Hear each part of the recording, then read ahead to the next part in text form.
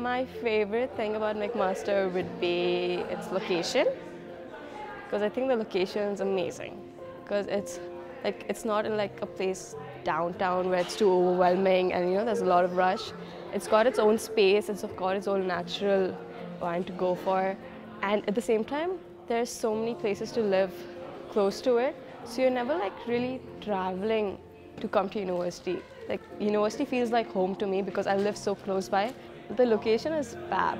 Like I would go for like walks everywhere and so like yeah, location, I'd say the location is the best thing for Mac. My favorite thing about Canada would be the snow.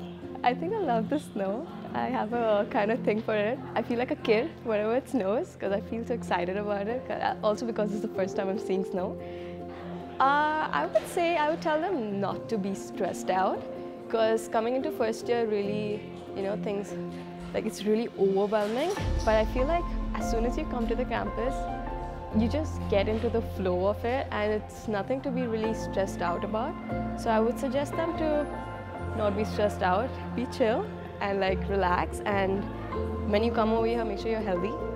Uh, food, don't compromise on food, don't compromise on your health.